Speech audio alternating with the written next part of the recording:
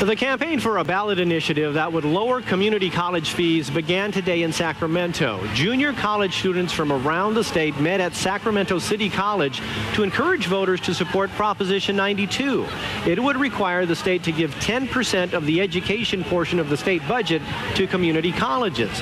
They say it will lower fees to $15 per unit for students.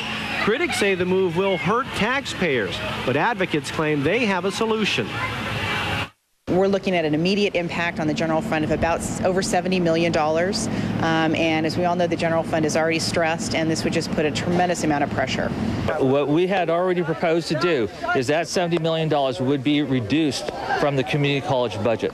We're already willing to take that hit and pay for that ourselves because we the think that this community college initiative will be on the February 2006 or 2008 presidential primary ballots.